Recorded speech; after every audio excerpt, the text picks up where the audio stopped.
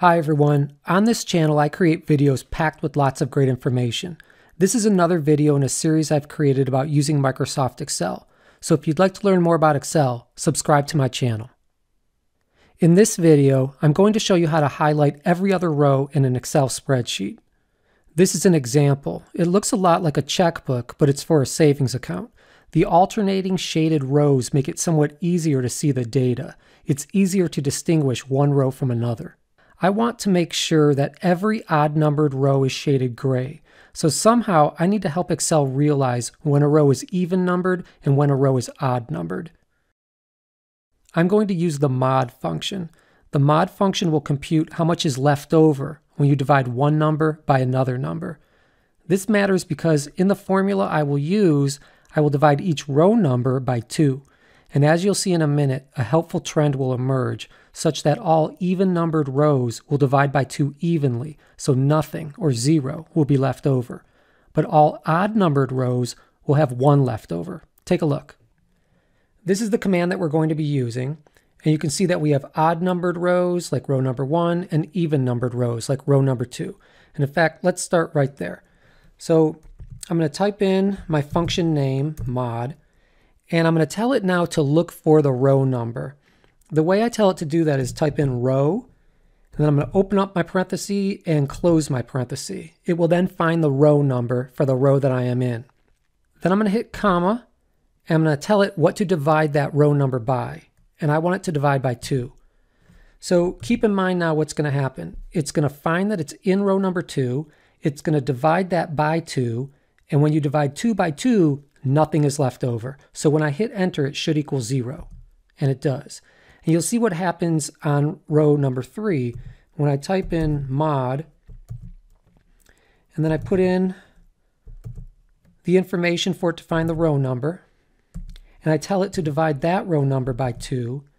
Now it's going to be finding row number 3. It will divide that by 2. Because 3 is not divided by 2 evenly, there's 1 left over. So when I hit enter, it should find the value of 1. Well, if I copy that command down, you'll see that trend emerges such that all the even rows are evenly divided by 2, so I find a 0, and all the odd numbered rows are not evenly divided by 2, so I find a 1. We're going to use that trend to make this very easy for us to make it so that every other row is highlighted. Let me show you what I mean. Okay, now that you understand how the mod function works, let's use it to highlight or shade every other row. So here's what you need to do. Just go to your spreadsheet and select the entire thing. I like to select things very easily by hitting Control A. Now from the Home tab, go to Conditional Formatting. Select New Rule and then select Use a formula to determine which cells to format. Now we're going to enter in the formula that we've been working with. Equals mod, open up the parenthesis, type in row, open up a parenthesis, close the parenthesis. It'll now look for the row number, put in a comma. It'll take that row number and divide by 2. Now I want to see does that equal 1? If that equals 1, I must be in an odd numbered row. If I am indeed in an odd numbered row, Excel will now format that row the way I tell it. And I'm going to click on Format, and I'm going to tell it to fill it with gray.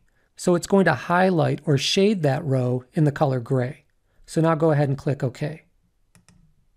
Now click OK again. Now we can click somewhere on the spreadsheet to turn off the highlighting.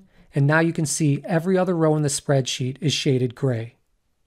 And this technique works really well because you can add rows. So I'm going to come right over here. I'm going to right click and I'm going to say insert a row. And you can see all of the shading still stays the same such that all of the odd numbered rows are shaded gray and the even numbered rows remain white.